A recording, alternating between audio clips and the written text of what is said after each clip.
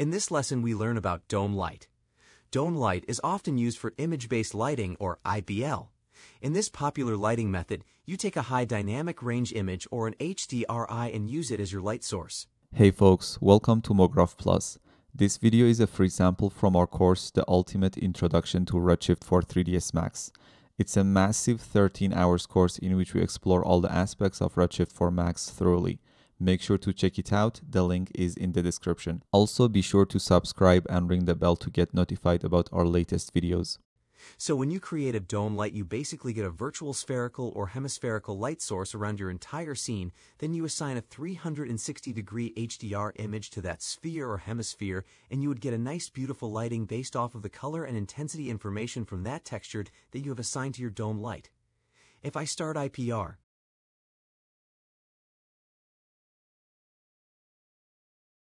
You notice because we don't have any light source in the scene and the default light is disabled in the render settings. We get a dark render. Let's add a dome light from the Redshift toolbar. Always remember that the dome light encompasses the entire scene. By default, we get a simple white virtual sphere around our scene.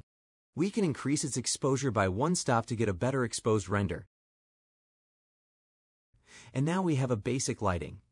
We actually want to map a texture onto the dome light. That's the whole point of having a dome light. So click on this Browse button. In your project files, you can find this HDRIs folder. I have a bunch of HDRIs from HDRIhaven.com, a great resource for free HDRIs. Make sure to go to their website and support them financially. They have tons of high quality free HDRIs. For now, let's load this dry field 4K HDRI. And now we are using the color information of that texture to lit our scene. And as we are in ACES, let's make sure our color space for the texture is set to linear sRGB. You can see the combination of dome light and HDRI textures will result in an effortless, extremely realistic lighting. Imagine there are hundreds of free HDRIs on the web, each with different attributes and color information, and each one will result in a different lighting. We'll try a few different HDRIs later on. Before that, Let's learn a few basic things about dome light. First, you probably want to rotate your HDRI around to get different looks, and you can achieve that by simply rotating the dome light in the viewport.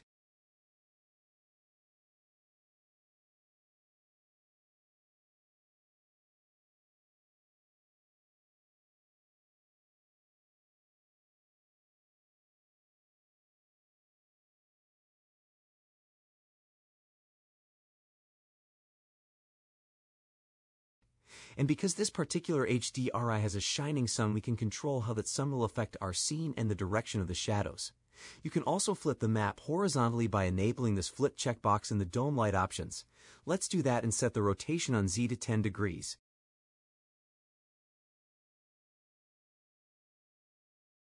To get this nice shadows and a clear sky in the background. To control the overall intensity and brightness of the dome light, you can use this exposure value. Let's try minus 1, 0, 1, 2, and 3. Let's get back to 1 as it gives us a well-exposed render. We can get out of our main camera and move around in the scene to get a better feel about how the HDR image is being mapped onto the dome light.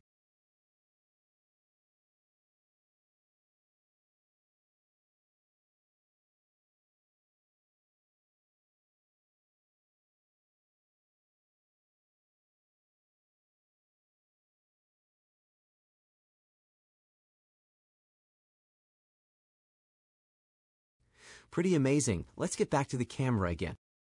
This map type dropdown is fairly important. Make sure the mapping type is correct. Different HDRI images might come in different mapping types. Angular, cubic, spherical, or mirrored ball.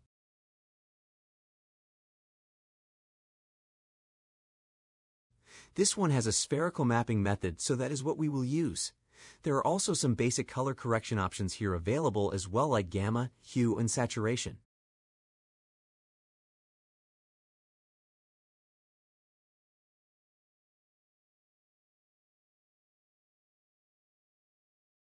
You can also tint your loaded HDRI image with a color.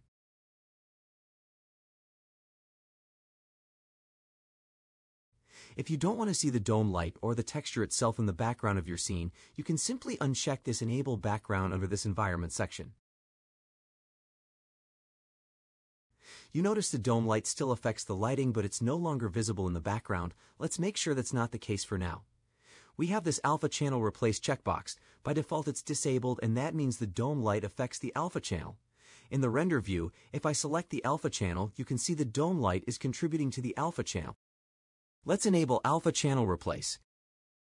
And now as you can see the light is not contributing to the alpha channel and we can control how much we want our dome light to affect the alpha using this alpha value.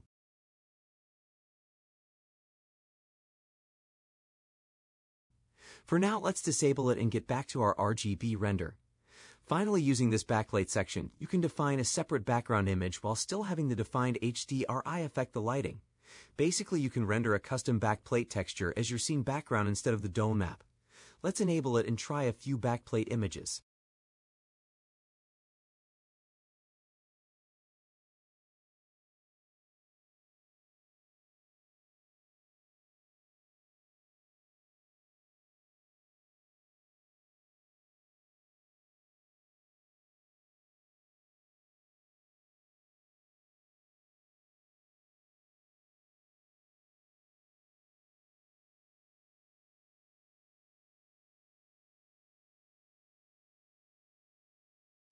Obviously, the picture you choose here needs to match the lighting from the HDRI map, and some HDRIs come with their own backplate images which can be very useful. And then there are some basic color correction parameters for the backplate.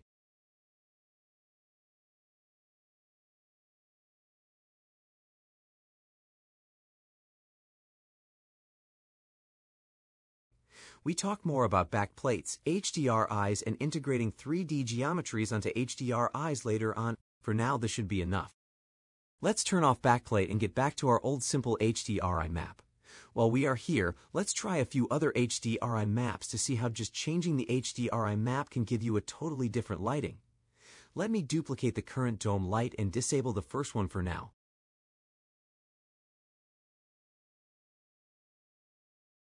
And load this Wasteland Clouds HDRI.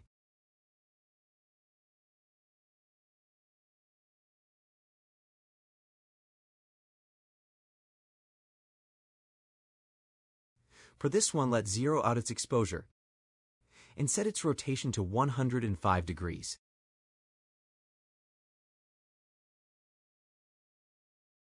And this will result in a completely different lighting. Let's create a duplicate again. Disable the previous one. And this time load this Venice Dawn HDRI.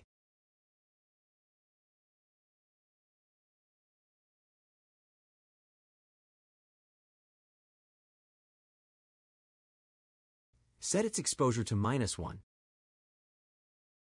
and rotation to 55 degrees.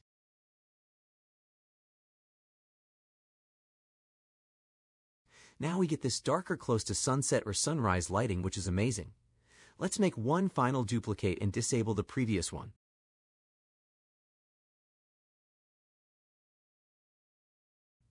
This time load this Moonless Golf HDRI.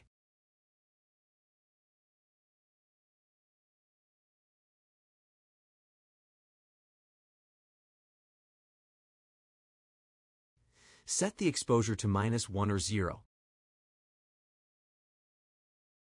And rotation to 130 degrees.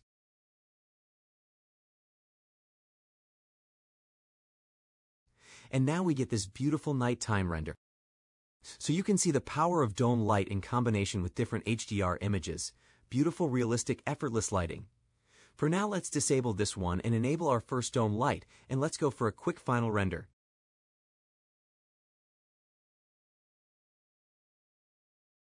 Open up the render settings.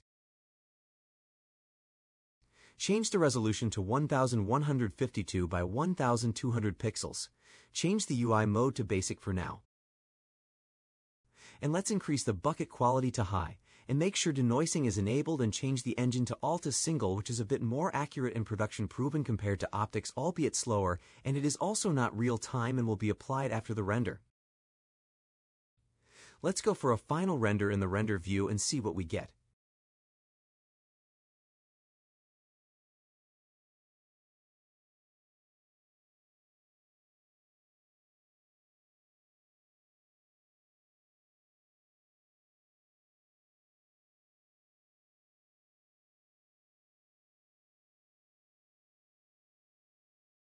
So here is our render.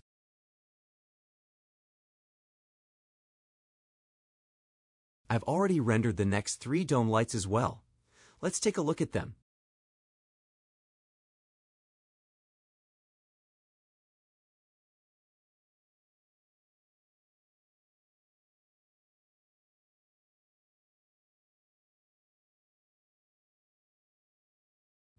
You don't have to use dome lights only for exterior shots. There are tons of HDR images taken from interiors that can be used with any types of scenes.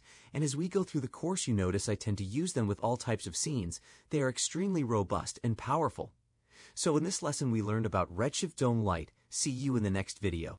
Make sure to visit our website mographplus.com or our Gumroad page at gumroad.com slash mographplus and check out our premium CGI and rendering courses for Cinema 4D, 3ds Max, Maya, Arnold, Corona, V-Ray, Redshift, Octane, and so on. See you in the next video.